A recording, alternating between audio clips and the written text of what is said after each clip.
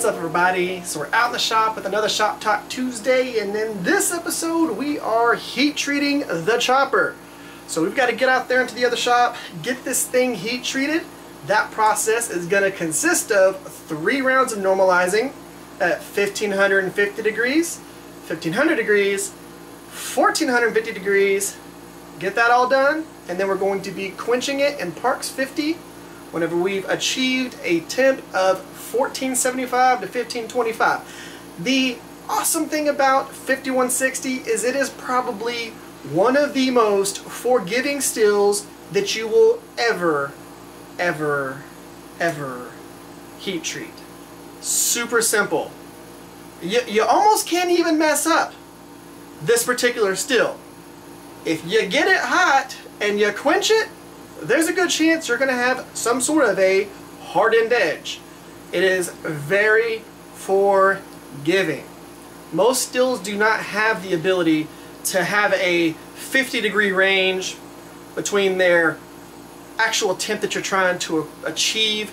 Most stills have to have soak times and all these different things. Now, 5160 does benefit from a little bit of a soak time. If you can keep it at that temp range for three to five minutes and then quench it, you're going to have a better hardened blade.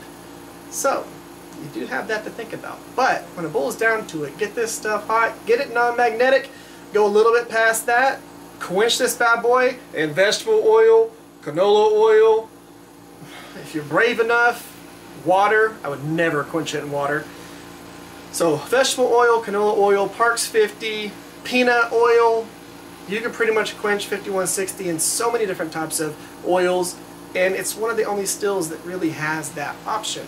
So 5160 leaf spring material is a perfect beginner's material if you're going to have to work with something, do something like this.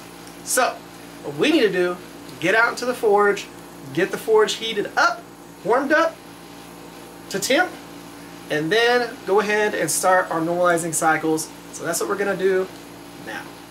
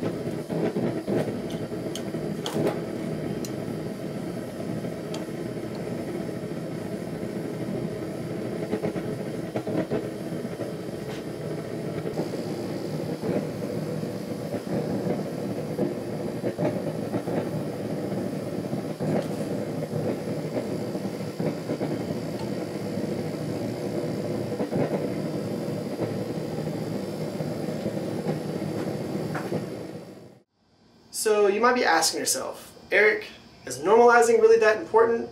Is it something that I should focus on whenever I'm going to be heat treating my blades? And the answer is yes. There's no harm in normalizing your steel. Nothing is going to be hurt because you decided to do that.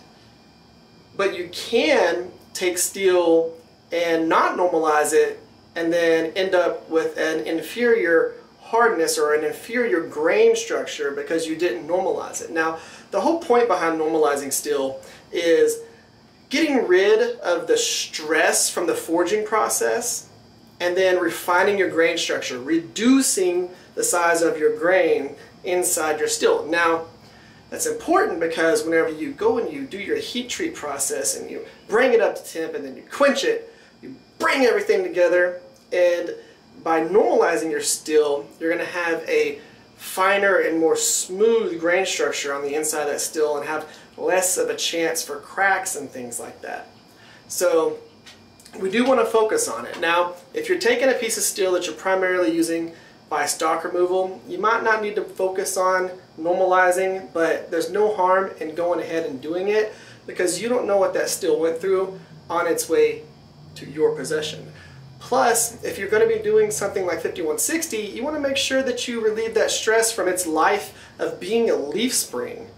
You know, that even though you have to forge it a little bit to make it flat, there's still a whole other bit of work that has happened to that steel prior to, again, it coming, you know, in your possession. So you do want to make sure and do the normalizing process because it's only going to give you a better result in the end. So I suggest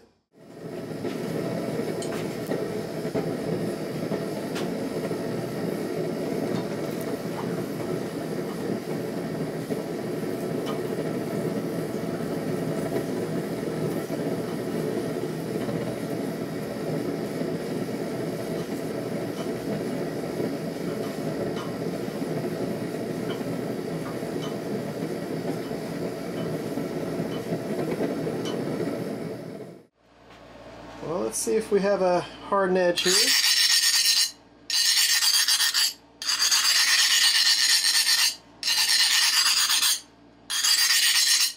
Yeah, I think that'll work.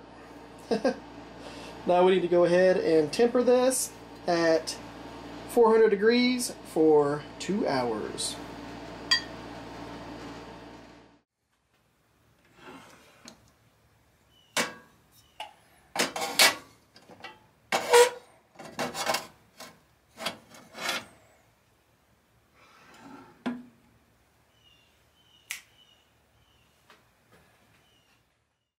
Alright guys, let's go ahead and wrap this one up right here with some of that awesomeness right there. I always love the way the blades look whenever they come out of the quench, they go into the temper, and you get that kind of bronzish look peeking out from the black and everything in there. I just think that that just looks awesome and post-apocalyptic. I just love the way they look like this. But with this particular build, I really want to show off that cool contrast between those super smooth bevels and those rough, textured, pitted looking flats that we got right there because it's going to cool, put a nice cool finish right where that transition is and then with those nice polished spine and everything this is just going to look absolutely epic. So in the next Shop Talk Tuesday episode we are going to be focusing on doing the final grind on the bevels bringing them up to just where we want it to be and then hand sanding this and putting that finish on it so this really starts looking like a completed knife. So that's going to be the focus of the next Shop Talk Tuesday episode. Be looking out for that. Now for this weekend, I've got an episode that's going to be coming out talking about the five shop sponsorship knives that I've been working on. And we've done all the bevels, we've done all that stuff with them, and we're getting ready to do the whole heat treat process for all of those, but we'll be talking about some of that stuff. I'll be showing y'all some of the process and everything in that episode, so you have that to look forward to. Plus, I got a bunch of other stuff that's going to be coming out. One project in particular that is, let's see, I think it's right there. You can see that little punch of color right there. That awesome thing is going to be just a, it's just going to be epic. And the whole process around that and you know, what it's a part of is going to be really cool. I'm, I know that whenever we start releasing that stuff, y'all are going to be just absolutely loving it. You're going to have a ton of stuff to watch. So, yeah. If you haven't subscribed to the channel, make sure you subscribe because you're going to want to see some of the stuff that we have that's coming up. You're really going to want to. So, be on the lookout for all that stuff. Guys, give this video a like, share this video. Y'all have an amazing day. Y'all stay safe out there. Check that out again. Guys, I'll catch y'all next time.